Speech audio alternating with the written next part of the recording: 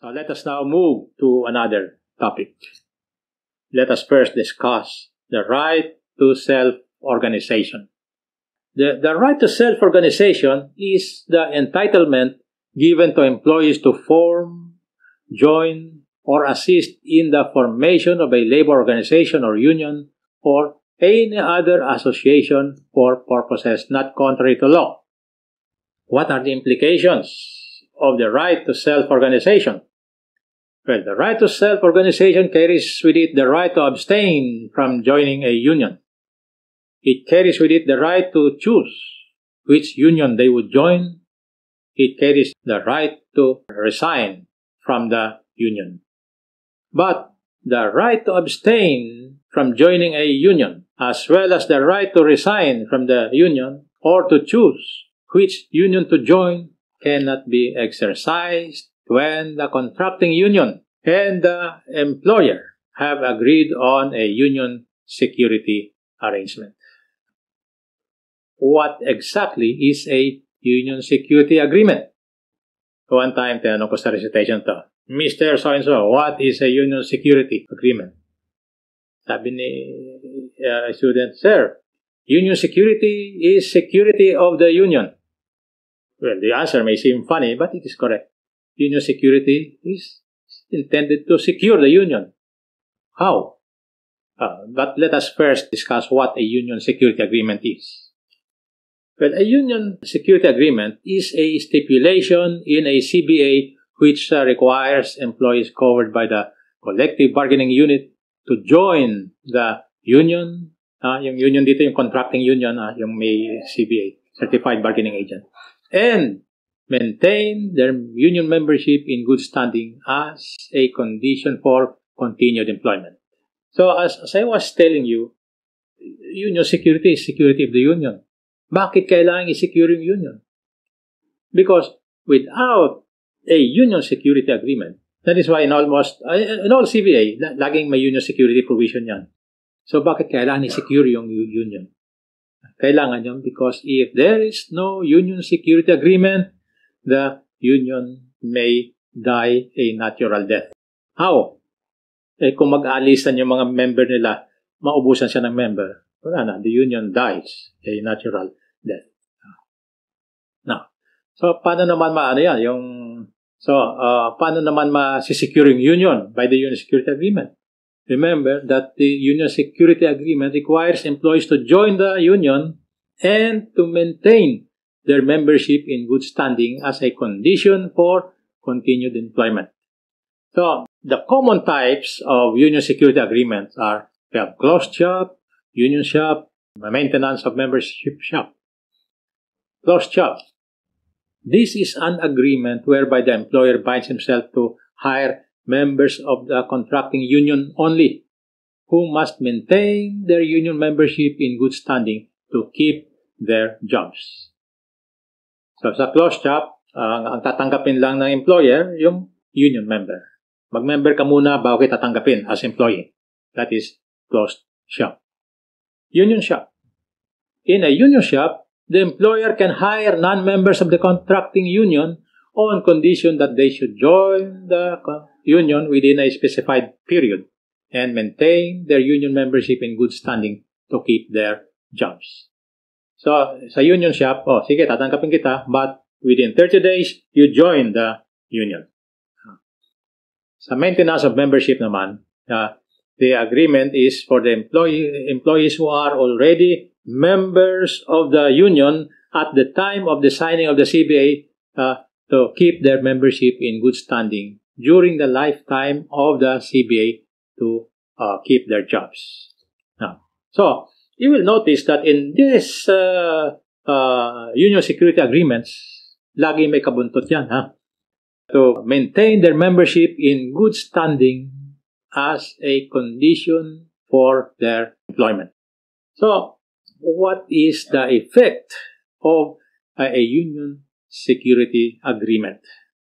If there is a union security agreement, the employees covered by the bargaining unit must join the union and maintain their membership in good standing to retain their employment. Now, does it mean that the, the union is forever tied up with the union? The answer is no.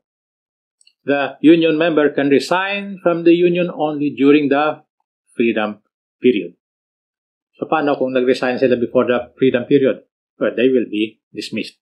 Pwede silang tanggalin. Employees who refuse to join the union or fail to maintain their membership in good standing will be subject to dismissal even if they may not be aware of the union security agreement. If there is a union member who fails to maintain his membership in good standing, the procedure is for the union to recommend or request the employer to dismiss the union member from his employment. If there is a request from the union, the employer should not outrightly dismiss the union member. The employer must observe due process and uh, dismissal should be effected only when warranted by evidence. Suppose the employer does not observe due process, the effect would be the employer will be held liable for nominal damages in the event that the dismissal is found to be valid. The authority to dismiss must be expressly stipulated. Now, this is exemplified by the case of uh, Anakan Lumber. In this case, the CBA between the union and the company contains a provision entitled closed shop. Uh, the wording of the closed shop states that the company agrees to employ only such persons who are members of the union. Period. Yun lang. The company agrees to employ only persons who are members of the union. Period. Now, later, several members of the union joined a rival union the contracting union uh, expelled the said employees. The union now, the contracting union now, requested the management to dismiss the union members who joined the rival union. Now, the issue here is was the company bound to dismiss the employees who joined the rival union?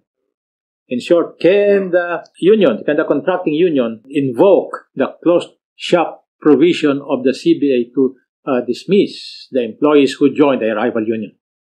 The Supreme Court ruled that no, the company was not bound to dismiss the said members. Why is that so? Because membership with the contracting union was not made a condition for continued employment. Remember that the CBA provision uh, merely required workers hired by the company to be members of the union at the time of hiring. Wala yung buntot na sinasabi natin must maintain their membership in good standing as a condition for employment. Wala yon. Basta nandun CBA, oh, uh, the company agrees to hire members uh, of the union uh, at the time of hiring. Period. Wala yung buntot. Ha? Now, since the CBA provision does not provide that an employee must continue to remain members in good standing to keep their jobs, the CBA does not establish a closed shop and therefore the company was not under obligation to dismiss the workers who resigned from the contracting union. Are union security agreements valid?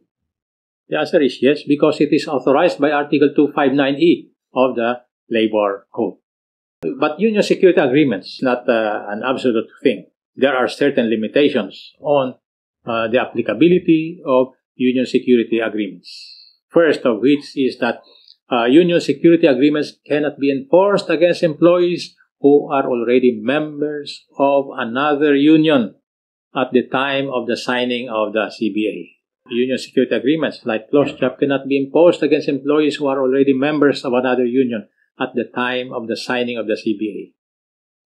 Second limitation. Union security agreements cannot be enforced against employees who are who were refused admission by the union itself without valid reason.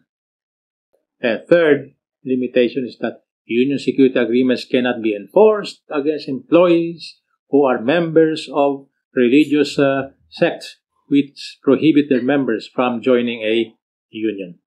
Halimbawa, uh, yung, uh, yung may, as you already know, yung Iglesia ni Cristo, yung mga members ng Iglesia ni Cristo, bawal yata magunyon sa kanila.